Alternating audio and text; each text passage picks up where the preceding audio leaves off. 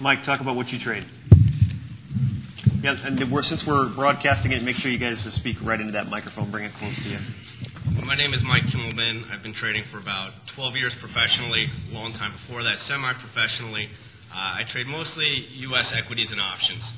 Uh, I'm an agnostic, which means I believe in nothing, but I'm willing to try anything.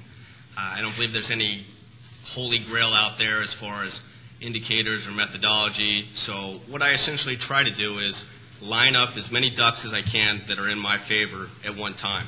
So, I'll look at fundamentals, I'll look at monetary, I'll look at technicals, psychology, sentiment, uh, and on the rare occasion where you get all those lined up in your favor, uh, I think you have to press your bet pretty big. And it's sort of a poker, ana- poker analogy, but once you get all these things lined up in your favor, and you rarely do, that's when you actually have to take advantage of it and, and make a, a, calculated large bet in a stock. Uh, basically, what I do, though, it doesn't really matter. The most important part is money management, risk management, and discipline. Anything else I tell you is going to be wasted if you don't have those because even the best indicators and methodology, there's no holy grail. Uh, you know, frankly, if there was, I wouldn't be up here telling you about it. I'd probably be home making money.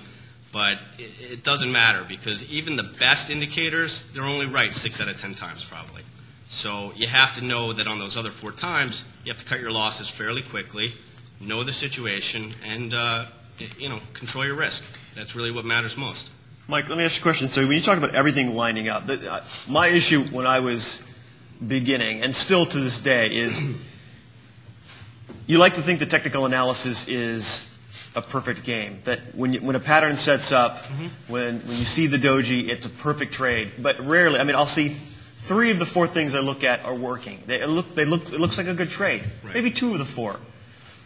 It's never, I, I, never see four of the four. I rarely see the four of the four. So, do you, how do you personally make those decisions where maybe a couple of things that you look at looking great, maybe a few aren't? Well, what I'm trying to do is I'm trying to buy strong stocks in an uptrending market on a day the market's up that have decent fundamentals. Uh, technicals are, are far from perfect.